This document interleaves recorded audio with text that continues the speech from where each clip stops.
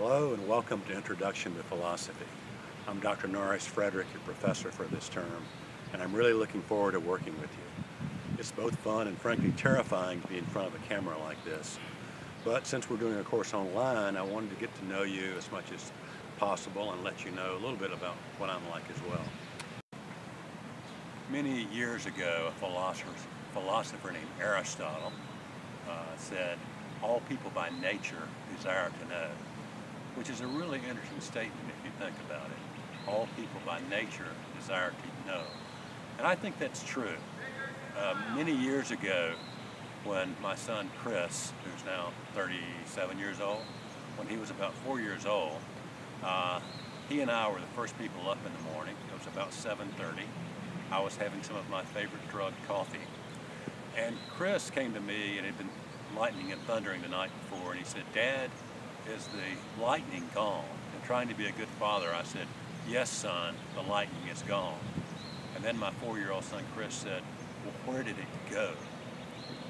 Which is a really interesting question because no one taught him to ask that question. I think Aristotle was right, just by nature, he wanted to know, where did it go? And if you think about it, that may seem like a kind of a silly question, but it's a scientific question. And in a way, it's a metaphysical question too. Know, we ask those questions. When people die, a good friend of mine had her mother die recently. We, we try to answer the question, where do people go when they die? So one of the things philosophy does, I'm going to talk about three things philosophy does. One is to wonder. Plato said all philosophy begins in wonder wondering, asking questions. Chris was wondering. Another aspect of philosophy, though, is not just to ask those questions, but to try to use reason to come to the answers to those questions. And again, I use an example of Chris when he was four years old. At that time, we were trying to be great parents. We wanted to teach our son to be nonviolent. And so we were telling him not ever to use any, we wouldn't let him play with any guns. And so one day I was sitting around after dinner and my son Chris had come up with a fire log and he was holding the fire log like this and going shh, shh, shh. And I said, Chris, you know we don't like you to play with guns. And he said, Dad, he said, a hand is not a gun. And just like that, a log is not a gun. And I was just startled by the sheer reasoning he was giving me. I was totally in with what he was saying, listening to him. And then he paused, and then this kind of weird smile came on his face, and he says, only people, only the police use real guns when people try to come cut you up.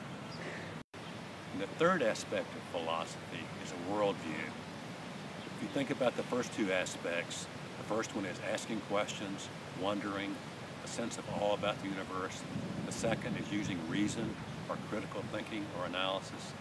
The third is putting everything together into a worldview which is a coherent, consistent set of answers to the most basic questions that people can ask. And I want to talk a minute now about the five areas of philosophy that we investigate in terms of these, in terms of these questions.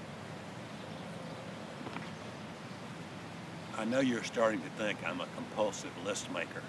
That's what some people said about Buddha as well, with his Four Noble Truths and the Eightfold Path but we'll explain this as we go. There are five major areas of philosophy, and I want to explain each of them briefly.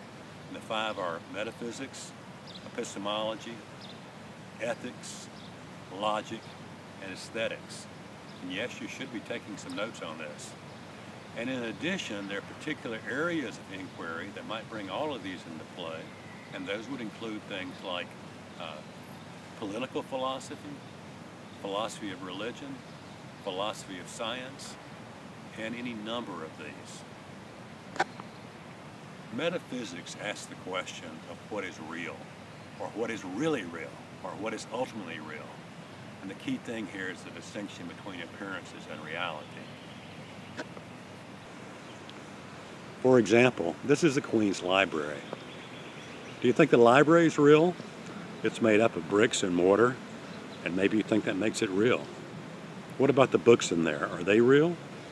What about the ideas in the books? Are they real? Or Einstein saying imagination is more important than knowledge. Maybe it's not just bits of matter that are real according to science. And now we're in the courtyard between the new science building and the Queen's Chapel.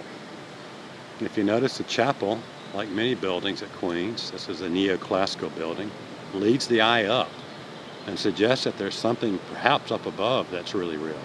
Is that real? And if it is real, but how would we know? The question of epistemology comes up again. So metaphysics and epistemology are really inseparable questions, inseparable areas of philosophy. So we talked about metaphysics and epistemology. Metaphysics, what's really real, and epistemology, how do we know? Two of the topics of this course we're going to focus on, the self and human freedom, fall into these areas of metaphysics and epistemology. In terms of the self, what is the self? Is there really a self, or is it just a series of actions that we take in different situations?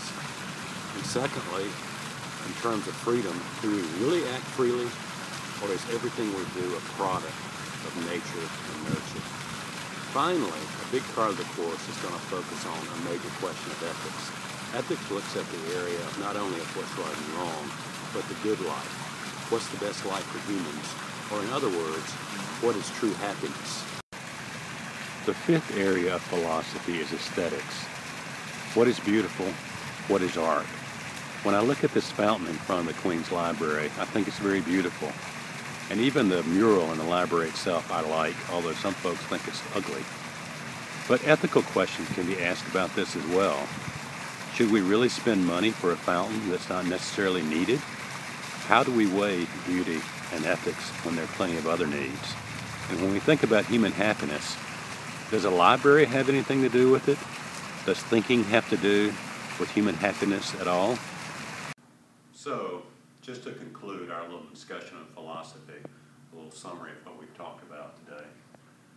We talked about the three aspects of philosophy that you can see on the board sense of wonder and awe, reasoning, critical thinking, analysis, as you try to answer those questions. And third, a world, a worldview or synoptic vision, which is an attempt to answer all these questions in a consistent, coherent way.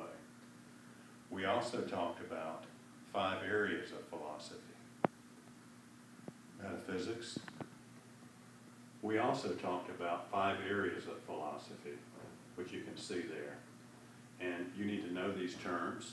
It'll be good for you to know these terms as we go through the semester. So this is graduation week here at Queens, and it won't be long before you'll be here yourself. Tomorrow and the next day, these seats will be full of people. Faculty will be here. The president will be here.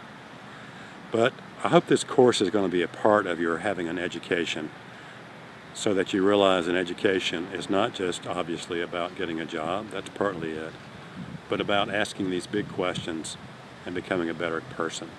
Thanks for joining me on this journey.